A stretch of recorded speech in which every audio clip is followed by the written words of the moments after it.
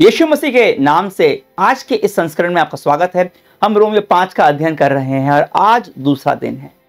आज हम तीन से पाँच आयातों को देखेंगे। कल पॉलुस ने बात की थी घमंड की, जो हम परमेश्वर की महिमा की आशा में कर सकते हैं। यहाँ घमंड का आशय था आनंद मनाना, खुशी मनाना। और आज इन आयातों में पॉलुस कहता है कि हम क्लेश में भी घमंड करते रहें मतलब आनंदित रहें। अब पहले एक प्रश्न, क्या क्या आपके जीवन में समस्या है? क्या क्लेश है? मुझे उत्तर पता है। उत्तर है कि हाँ है। हम सबको क्लेश से गुजरना पड़ता है, दुख से गुजरना पड़ता है। कुछ लोग समस्याओं को नजरअंदाज करके इससे निपटने की कोशिश करते हैं। या फिर समस्या के बारे में गलत तरह से सोचकर उनकी तरफ़ एक गलत रवैया अपनाकर। वे सोचते रहते हैं कि मेरे जीवन में क्लेश क्यों है? क्यों परमेश्वर ने इन्हें आने देता है? क्या वह मुझे प्रेम नहीं करता? पर जिन आयातों को हम आज देखने वाले हैं कि आशा का आनंद, यह अच्छा घमंड के लिए परमेश्वर की एक प्रक्रिया है।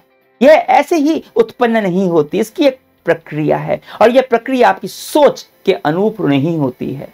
तो चलिए मैं आपके लिए रोमियो पाँच, तीन से पाँच तक पढ़कर सुनाता हूँ। केवल यही नहीं, वरन हम क्लेशों में भी घमंड करें। यह जानकर कि क्लेश से धीरज और धीरज से खरा निकलना और खरे निकलने से आशा उत्पन्न होती है। और आशा से लज्जा नहीं होती क्योंकि पवित्र आत्मा जो हमें दिया गया है, उसके द्वारा परमेश्वर का प्रेम हमारे मन में डाला गया है। पौलुस कहता है, क्लेशों में भी घमंड करें। या फिर आनंद बनाएँ, क्योंकि क्लेश ही है, समस्या ही है जो हमें अंततः आशा उत्पन्न करती है। है ना? बिल्कुल आपके सोच के विपरीत ये। आप सोच रहे होंगे, समस्या कैसे आशा उत्पन्न करती हैं? वह तो हमें निराश करती हैं, दुखी करती हैं। वह हमारी आशा को चुरा लेती हैं, खुशियाँ खत्म कर देती हैं। ऐसा इसलिए लगता है क्योंकि हम परमेश्वर की प्रक्रिया को नहीं समझते। तो उसे समझने की कोशिश करते हैं और मैं आशा करूँगा कि आपका समस्या के प्रति नज़रिया बदल जाएगा। पहले थोड़ी सी बात करते हैं क्लेश और समस्याओं के बारे में। तीन बातें हैं इसके बारे में। समस्या आएगी ही आएगी आएगी ही आएगी। क्लेश होकर रहेगा। कोई भी इनसे बच नहीं सकता। आप अगर पूछे, मैं क्यों? तो मेरे साथ ये सारी समस्या क्यों? तो उत्तर है, आप क्यों नहीं? आप सबको समस्या होती हैं और कोई इनसे नहीं बच सकता। दूसरी बात, समस्या अचानक से आती हैं और जब वो तब आती हैं जब इसकी अपेक्षा बिल्कुल नहीं कर रहे होते। आप इसके लिए बिल्कुल तैयार नहीं होते। अचानक से। और तीसरी बात जो है, समस्या और क्लेश के बारे में एक विश्वासी के जीवन में परमेश्वर इन समस्याओं को हमारे जीवन में बढ़ोतरी लाने के लिए इस्तेमाल करता है। मैं इसलिए नहीं कह रहा कि मैं आपकी समस्या को कम कर कर आंकना चाहता हूँ, पर मैं चाहता हूँ कि आप परमेश्वर की सामर्थ्य को पहचाने और समझे। और मैं यह सब कह रहा हूँ कि परमेश्वर समस्याओं को, क्लेश को आप में वृद्धि लाने के लिए इस्तेमाल करता है। तो मैं यह नहीं कह रहा कि समस्या अच्छी है। नहीं, ऐसा मैं बिल्कुल नहीं कह रहा। पर परमेश्वर अच्छा है। और परमेश्वर बुरे को भी हमारे लिए अच्छाई उत्पन्न करने के लिए इस्तेमाल करता है। अब आप एक प्रश्न पूछ सकते हैं, परमेश्वर बुराई को अनुमति ही क्यों दे रहा है? क्यों देता है? अच्छा प्रश्न है। परमेश्वर चाहे तो अभी चुटकियों में बुराई को खत्म कर दे। वह कर सकता है और करेगा भी एक दिन। नहीं तो परमेश्वर परमेश्वर नहीं होता। पर परमेश्वर इंतज़ार कर रहा है, क्योंकि वह चाहता है कि कुछ और बुरे लोग मेरे जैसे उसको पहचान पाए और जान पाए। और मैं खुश हूँ कि वह इंतज़ार कर रहा है। उसने मेरा इंतज़ार किया और मेरे उन प्रियजनों का भी कर रहा है, जो अभी तक उसे नहीं जानते। पर जब तक वह इंतज़ार कर रहा है, सच्चाई है कि बुराई दुनिया में है, हम में है, और यह बुराई समस्याओं को न्योता देती है, क्लेश उत्पन्न करती है। पर परमेश्वर परमेश्वर इन समस्याओं को लेते हैं और हमारे अंदर आगे भविष्य की की आशा को देखने की काबिलियत उत्पन्न करते हैं, आत्मिक वृद्धि लाते हैं। कैसे करते हैं वो ये? पहला कदम आपके जीवन में एक समस्या आती है, क्लेश आता है। और फिर दूसरा कदम, आपके अंदर धीरज उत्पन्न होने लगता है। देखिए, आत्मिक परिपक्वता के लिए समस्या और धीरज दोनों ही बहुत ज़रूरी हैं। केवल समस्या से नहीं होता, क्योंकि अगर होता तो सबसे बड़े आत्म सब बड़े आत्मिक रूप से परिपक्व हो जाते, क्योंकि हर किसी के जीवन में बहुत सारी समस्याएँ हैं। कमी तो है नहीं, पर जो कम होता है वो है धीरज। और धीरज एक फल है, फल। और फल दिए नहीं जाते, वो उत्पन्न होते हैं, वो बढ़ते हैं। कैसे? यह जानना बहुत ज़रूरी है। नहीं तो आप में कभी भी धीरज उत्पन्न नहीं होगा और आप हर समय दुखी और विचलित रहेंगे। देखिए, तीन प्रकार से हम अपने जीवन में धीरज को उत्पन्न होने से रोकते हैं। एक, जब हम समस्याओं से भागते हैं।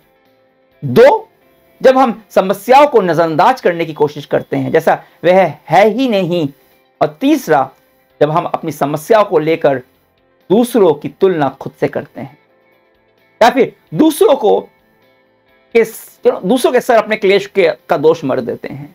आपने देखा है, जब भी आप समस्या से भागने की कोशिश करते हैं, समस्या आपके पीछे पीछे आती है। वे आपको छोड़ती नहीं।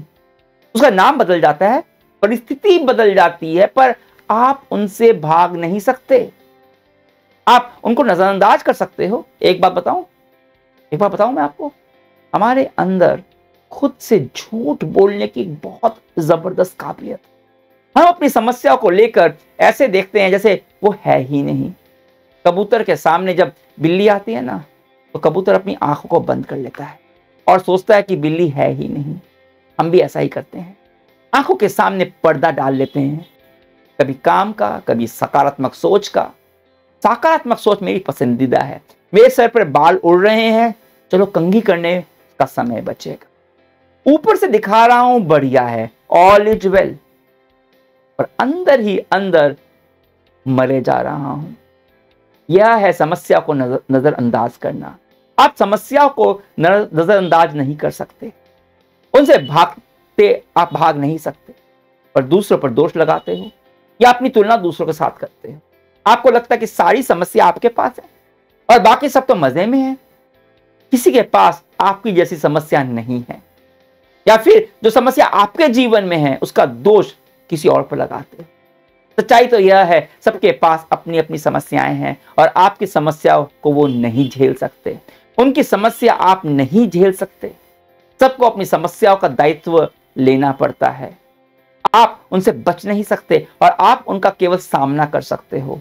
और जब आप अपनी समस्याओं का, अपने क्लेश का सामना करते हो तो आपके अंदर क्या होता है? धीरज उत्पन्न होता है। पर अपने क्लेश से निपटने के लिए, समस्या का सामना करने के लिए आपको ज़रूरत पड़ती है भरोसे की। याद रखना कि परमेश परमेश्वर नियंत्रण में है। इन समस्या और क्लेश के बीच परमेश्वर आपके साथ है। अब भरोसा करते हो परमेश्वर के वादों पर। और इस भरोसे का निर्माण होता है जब आप परमेश्वर के साथ समय बिताते हो। उसके वचन के साथ आप समय बिताते हो। देखिए, जब भी आपको क्लेश होगा, समस्या का सामना करना होगा तो आप निराश तो होंगे। टूटेंगे। आपको संदेह भी होगा। तो निराश होने पर क्या करते हो? देखिए, जब आप भूखे होते तो क्या करते हो? भूखे रहते हो क्या? नहीं, कुछ खाते हो ना? जब आपको प्यास लगती हो, क्या करते हो? ये कैसा सवाल हुआ? मैं पानी पीता हूँ भैया, प्यास लगेगी लगेगी तो प्यास थोड़ी ना रहूँगा। पानी पीऊँगा। और जब थक जाते हो तो क्या करते हो? थोड़ी देर आराम कर लेते हो। पर जब निराश होते हो, तब निराश होकर घूमते रहते हो? या फिर सिनेमा देखते हो, या टीवी के सामने बैठकर चैनल सर्व करते हो? या तो ऐसे हो गया, जैसे आपको लगी है भूख और आप सोचते हो, कुछ देर में आराम कर लूँ। भूखे पेट आराम भी नहीं होगा। जब निराशा होती है ना जब भरोसा नहीं रहता, संदेह होता है तो आपको परमेश्वर की वचन की ज़रूरत है। बाकी कुछ, कोई कुछ भी करने से कुछ नहीं होगा। परमेश्वर का वचन ही है जो आपको ऊर्जा देता है। आपको ऊर्जा देता है अपने समस्याओं के साथ जूझने की लड़ने की। अब फिर हो सकता है निराश हो, पर आप फिर जाते हो परमेश्वर के पास। वापस ऊर्जा लेते हो, वापस जाते हो और लड़ते हो। और ऐसे करते करते उत्पन्न होता है धीरज। क्या है धीरज क्लेश के बीच? धीरज है, लगे रहो, छोड़ना नहीं, हार नहीं माननी। इस तरह से आप क्लेश में, आप में धीरज उत्पन्न करता है धीरज आपको खरा बनाता है। खरा मतलब आपके चरित्र का निर्माण करता है। आप सोचिए, कौन है वे लोग जिसे हम इतिहास में सबसे महान समझते हैं, जिनका चरित्र हमारे लिए एक आदर्श होता है? वो लोग हैं वे जिन्होंने समस्याओं का डटकर मुकाबला किया, धीरज के साथ। जो भागे नहीं। बाइबल इस चरित्र निर्माण को कहती है, खड़ा निकलना। जैसे सोना तपने पर खड़ा निकलता है। कैसे खड़ा निकलता है सोना? जब आग में तपाया जाता है। जब आप क्लेश और समस्या की आग में तपते हो, उसके बाद आप खड़े निकलते हो। परमेश्वर है जो आपको तपने देता है। क्योंकि वह चाहता है आप खड़े निकलो। आप चरित्रवान बनो, जैसे कि यीशु है, और फिर उत्पन्न होती है आशा। आशा, दो चीज़ों से उपस्थित एक है आपका चरित्र और दूसरा है परमेश्वर का प्रेम। पौलुस कहता है, पाँच आयात में पवित्र आत्मा जो हमें दिया गया है, उसके द्वारा परमेश्वर का प्रेम हमारे मन में डाला गया है। परमेश्वर प्रेम कभी बदलने वाला नहीं है। बदलना है तो हमें, खड़ा होना है तो हमें हमें खड़े होने की ज़रूरत है। और जो अपने जीवन के क्लेश और समस्या का सामना डटकर करता है। परमेश्वर के प्रेम के साथ उसकी यह आशा और दृढ़ होती जाती है कि अनंत काल में हम यीशु के साथ रहने वाले हैं। स्वर्ग के उस राज्य में जहाँ और बुराई नहीं होगी, क्लेश और दुख नहीं होगा। यह जीवन जो अभी हम जी रहे हैं, यह तो केवल तैयारी है। असली जीवन तो अभी बाकी है। जब हम परमेश्वर के महिमा में रहेंगे, हमेशा हमेशा के लिए। और इस आशा के मद्देनजर, इस आश्वासन के मद्देनजर हम आज आनंदित हो सकते हैं, इस पर घमंड कर सकते हैं आशा पर। तो जो समस्या है तो भागिए मत। भागिए मत। नजरअंदाज मत कीजिए। दूसरों पर दोष भी मत लगाइए। तुलना भी मत कीजिए अपनी दूसरों के साथ। पर परमेश्वर से पूछिए, इस समस्या से तू मुझे क्या सिखाना चाहता? कैसे तू मुझे खरा बनाना चाहता है? कैसे मेरे को तू यीशु जैसा बनाना चाहता है, ताकि मैं तेरी महिमा में रह सकूँ सदा सदा के लिए? मैं जानता हूँ आपको बताने की ज़रूरत नहीं। मैं जानता हूँ कि आप अभी इस समय किसी न किसी समस्या से जूझ रहे हैं। तो अपनी समस्या को लेकर परमेश्वर के पास आइए और कहिए, पिता परमेश्वर, मदद कर मेरी अपनी समस्या और क्लेशों के बीच आनंद मना पाऊँ। इस बात के लिए आनंद नहीं कि मुझे क्लेश है, पर इस बात के लिए कि यह समस्या मेरे अंदर धीरज उत्पन्न कर रही है और मुझे खड़ा बना रही है। ताकि मैं तेरे पुत्र की तरह खड़ा बन सकूँ, तेरे साथ रह सकूँ, तेरे प्रेम में सदा सदा के लिए। धन्यवाद तेरे प्रेम और बुद्धि के लिए, जिस कारण बुराई भी हमारे लिए अच्छाई उत्पन्न करती है। यीशु के नाम से प्रार्थना करता हूँ।